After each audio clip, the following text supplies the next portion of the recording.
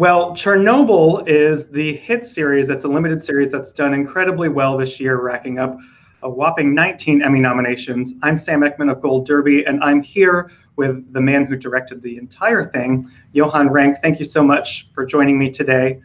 Um, this is a, a, really massive, beautiful production. Uh, can you just tell us how you got involved with Chernobyl to begin with? Sure. Um, thank you for your kind words to start out with. Um, I was uh, I pretty much just exited another limited series I've done in, in Eastern Europe uh, called The Last Panthers. Um, so I came sort of coming out of that. I, there's a script on my desk saying Chernobyl, and I, I knew that that there, thematically that's something I'm going to be very interested in. But I have no desire whatsoever to to go back to the to Eastern Europe with my whole family and all that. I have a lot of kids and a lot of sort of those kind of things that are you know part of my my my gang, so to speak. So uh, I started reading the script. They, and and they're undeniably good. And I was just sort of feeling inside like ah bummer that. Um, I'm not gonna gonna go do this because this is such a great project. And and it yes, the further I read, I think there were three episodes existing by then. The further I read, the more I felt that it was sort of spot on for something I wanted to do. Uh, and then I realized that I it was not about convincing me; it was about convincing my family to go back to Eastern Europe. So, so the producers, um, Jane Featherstone and Carolyn Strauss and, and Craig Mazin, who also wrote the script, came to my house in, in New York, thinking that they're there to convince me to do the project. When I've already decided long ago, I was just looking for ammunition to um, to uh, use towards my wife. why we have to go and do this fantastic project anyways, uh, long story short, obviously, I, I, you know, in a, in a not so uh, graceful way, uh, uh, told my wife that we that it's already done. We're doing this. Um, um, but yeah, so that was that was it in a long way. You know, in hindsight, we all love the experience. It's not like we have anything to, against Eastern Europe. It's just these limited series are such long, cumbersome undertakings. And you know it's literally like doing three movies on top of each other. So it becomes quite taxing for your family and your relationships. And you know you perpetually live in some kind of limbo that is not not real life. You're not with your you're not in your home. You're not with your friends. The, the kids are pulled out of school to go to other schools and all of that so th- so that's basically what it is so yeah um, you said the script sounded like a, a great fit for you uh, and something you wanted to do. Was there one specific element in there that really spoke to you that you wanted to capture? I think that it was a couple of things. Uh, they're beautifully written scripts. They have a, you know, they have uh, two things that are very important for me. Is that there is a visual um, element in what's being done. You know, I, I saw that there is a world to be done here, and the second thing is that there is that there is sort of some poetic uh, elements to it as well because I like when when there's sort of moments of impressionism and creating moments that are not only strictly narrative but also has to do with describing a, a mood via images and music and whatnot you know all of that kind of stuff and the, and the scripts had a lot of those things within them added to the fact that it's a very very compelling story and you know tremendously sort of intriguing characters. You know, they they were not these characters are, are multifaceted, complex, and, and interesting, and it just felt like there was there was nothing there for me not to like, to be honest. Hmm. I, I was curious about your history too, because I know you actually started as in the music industry as a singer songwriter. Uh, how did you first make the jump yeah. to directing? Well, it's, it's a very, you know, I, I played music my entire life. And then in the early 90s, I had, you know, me and a friend did a project that ended up being quite successful.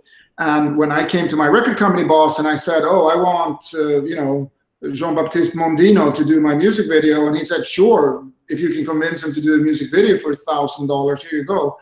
Uh, so I realized, fuck it, I have to do this myself. and I do have a background in photography. I, am a photographer as well and all of that. So I decided I'll, I'll, try to do this video myself.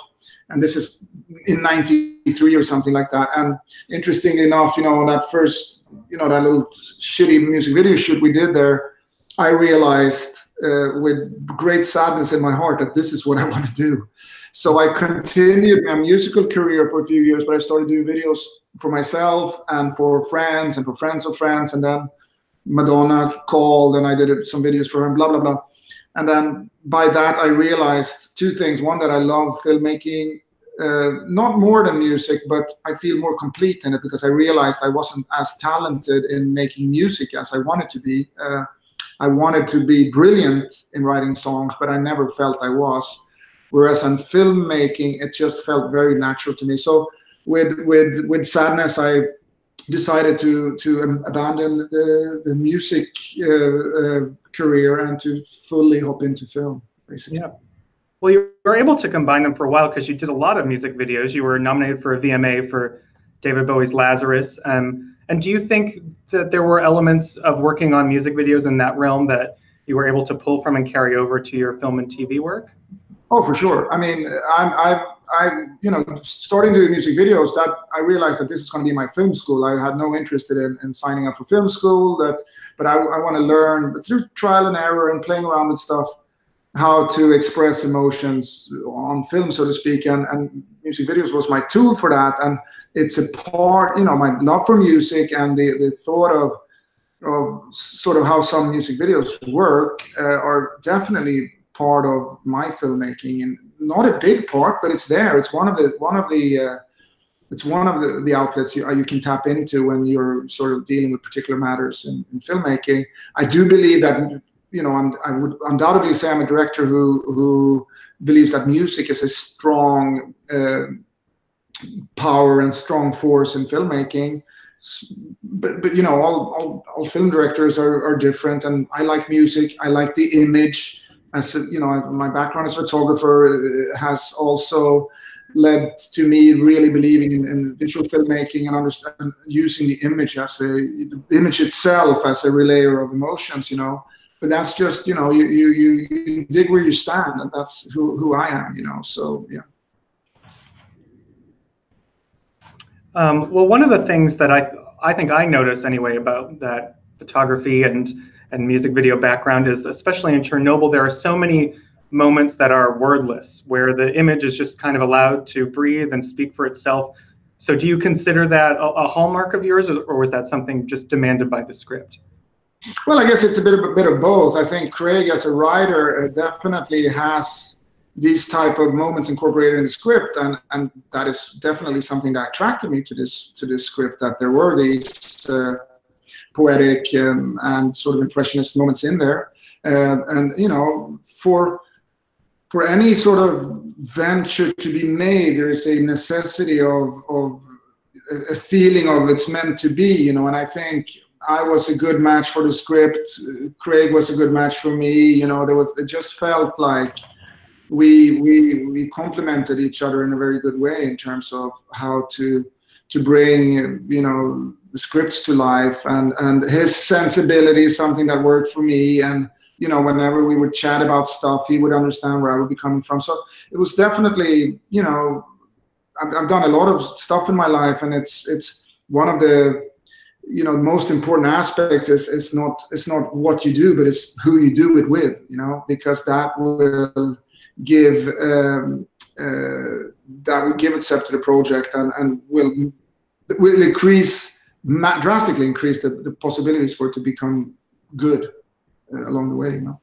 Yeah i think one of my one of my favorite moments i, I think was the the bridge scene um, where everyone is sort of dan- they don't know what's coming and they're dancing in the fallout um, it's this mix that you capture a lot it's kind of a mix of beauty and melancholy at once in the series uh, how do you choose moments like that to film? Like, how did you decide to film the bridge? Yeah, I mean, I think what you touched upon is the the interesting aspect of it is that you have to understand that there's beauty in tragedy as well. You know, because without that beauty, you end up with something that is just. Uh, uh, what should we call it? Depressing and and uh, and uh, you miss out on the human. You know, you can't miss out on the human beauty and and and and. oh, sorry, Johan, you're still there? I think we were losing your audio. Oh, can you hear me now? Can you hear me? Hello, hello, hello. Uh, yes, I can hear you now. You good? I'm back. Okay. I'm, I'm sorry. I'm in the. Yes, I'm in, back. I'm in my country house. I have a rather spotty uh, internet. um, what, can you just repeat what you said because I think we lost your audio.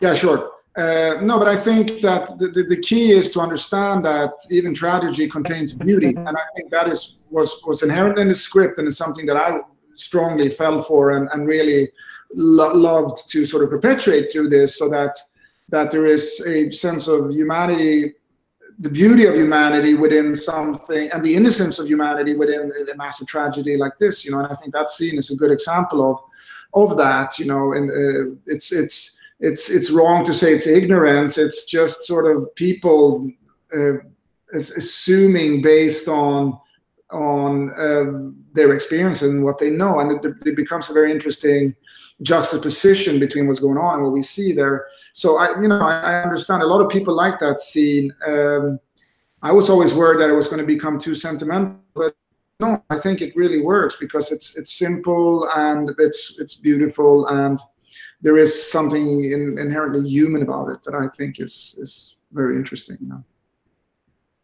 Hmm.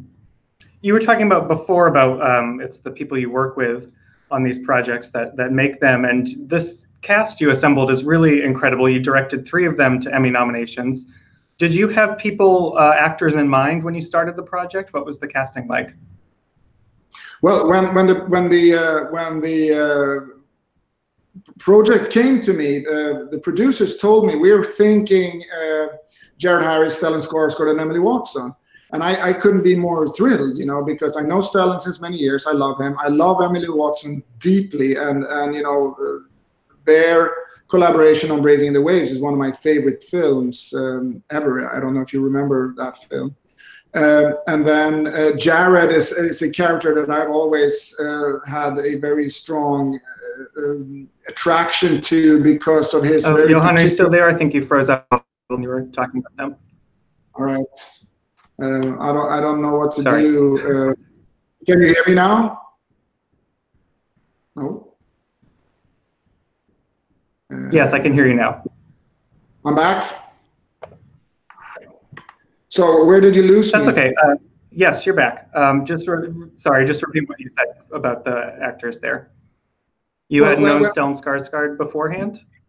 Yeah, I knew I knew Stellan since many years. I, I, knew pretty much all his kids and the whole family. They're Swedish as well, and I worked with with a few of them over the years. You know, um, Emily somebody that I have had deep admiration for uh, ever since she and, and Stellan was in Breaking the Waves, you know, the, the Lars von Trier movie, you know in which which they're brilliant. And Jared is also a, an actor that I uh, that I had a very you know a massive soft spot for because he he has a particular demeanor and a particular psychology with him that I just always feel so strongly about. He's he's great at being a lot of things, but one of them that is, is really great is to be um, pathetic almost. You know, if you think of him in Mad Men, what an incredible character that is, you know. And he's a very skilled, multi you know versatile actor actor. So when they said that those three were in mind, I was um, tremendously happy about that, and I had no objections to that whatsoever. And and then uh, after that uh, followed several months of casting the other 102 speaking roles or whatever it is that we have there.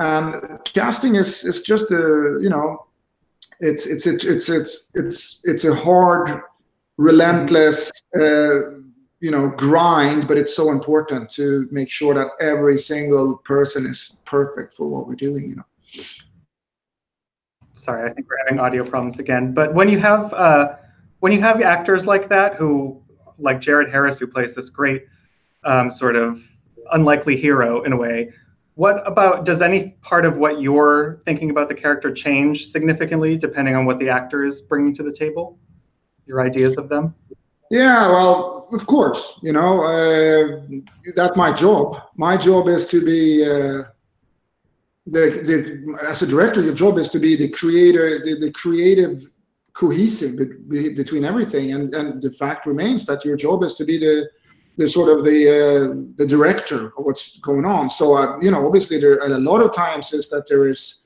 a conflict in what the instincts of the actor is and what I want to do. And but that's just the way it is, and and ultimately it, it's going to have to be what I want it to be because I don't understand anything else. You know, all I know is my sensibilities and my taste, and if if if actors have other ideas, uh, you know, sometimes they're great, but sometimes they have no bearing in what we're doing. Then you know there will be uh, discussions. Uh, but there is no room for compromise in filmmaking there because then what the hell are you going to end up with some some very fizzy soup that is going to be completely unedible you know so ultimately there has to be one vision and and that's the one you know that you will have to go with you know uh, but but you know the, the, the good thing is a you work with a lot of actors with very good sensibilities who have good instincts and who we share taste with.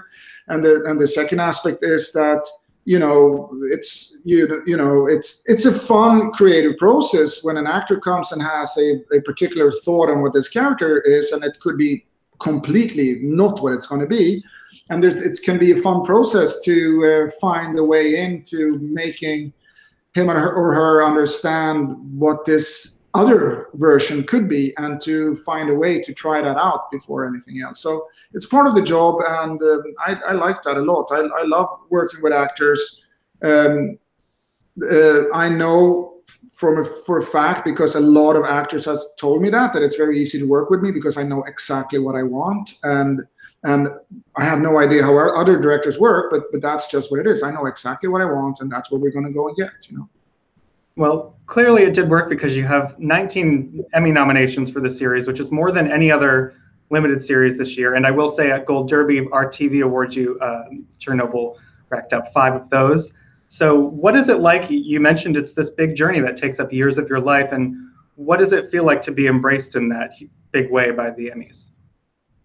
Uh, well, I mean, I prefer to be embraced by the journey because that's what I love. I love filmmaking and I love being there doing that. And I'll, you know, I could wake up every morning and go and do this. Um, uh, there's nothing I love more than what I do. And I feel tremendously happy to have ended up in, in life doing something that I profoundly love and that I wouldn't change for anything, even my even my music, uh, even if I could have, have given the op- opportunity to be a brilliant songwriter, I would choose what I'm doing. Um, on the other hand, I'm very Swedish, uh, very sort of Lutheran and um, stern. Uh, it's not for me to pat myself on my back or to feel uh, proud or anything like that. Uh, but I do think I'm learning. I, I, lived in America now for 13 years, 14 years, and I think I'm learning that you can allow yourself to embrace validation uh, and it doesn't have to be something to be embarrassed about or to want to sort of just walk away from. Um, so you know, I don't know. I, am I'm, I'm also on a summer break with with all my kids and my wife, and my daily business is more about figuring out what the hell people are going to eat and what we're doing and all that kind of stuff. So I haven't really had time to absorb uh, extensively, but I, I, think that is basically also my way of uh, trying to discard what is ultimately an incredible honor and some fantastic news. You know, I mean, it's way, way, way better than the opposite. so, but uh, I think once I'm back home in New York and once I've sort of had the time to sit and mull up on this, I'm sure I'm going to be uh, feeling something. And I'm actually, I've decided to go to the award ceremony, even though I'm not a, a fan of doing those kind of things. Not the least because we have 19 uh, various nominations, and we're all going to be there. It will be a, an amazing opportunity to just hang out, get drunk, and hug each other, and and and look back and think about the fact that when we were doing this, I always said that this is going to be great, but nobody's going to watch it, uh, and then we can laugh at my stupidity in that. well, people certainly watch. So uh, I wish you the best of luck at the Emmy Awards uh, upcoming. Everyone who's watching, please hit that subscribe button. Stay in touch with Gold Derby for all of our Emmy news. Johan, thanks so much for joining us and best of luck with the Emmys. Thank you so much.